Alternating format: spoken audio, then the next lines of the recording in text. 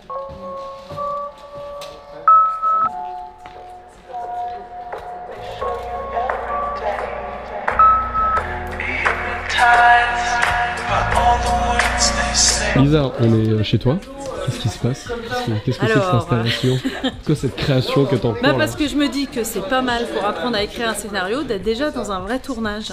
Et euh, voilà, donc euh, c'est mon premier cours de scénario filmé, mais j'ai très hâte en fait de transmettre tout ce que j'ai appris ces 25 dernières années pour écrire un film. Je suis très contente de rencontrer Anne-Laure parce que j'adore le projet Indigo et je suis contente qu'Anne-Laure profite de ce cours. voilà. Cours de scénario 1-1. Voilà, merci.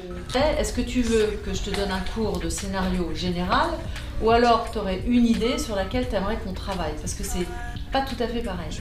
C'est hyper intéressant parce que c'est pas du tout la manière euh, dont j'ai essayé de commencer à travailler en fait. Souvent je balance des idées mais en fait toutes différentes. Celle-là c'est une idée qui me travaille depuis un petit moment du coup euh, j'ai plus d'idées on va dire euh, que les autres histoires.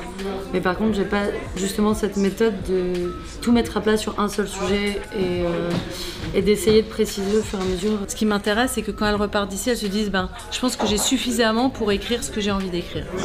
C'est ça mon but en tout cas. Là, tu présentes ton perso. Donc déjà, est-ce que tu sais de quoi tu veux vraiment parler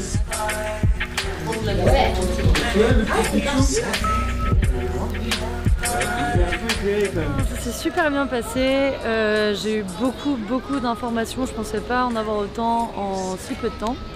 Parce que c'est hyper euh, vivant et c'est très clair en fait. Elle parle avec son cœur et, euh, et on reçoit vraiment ça.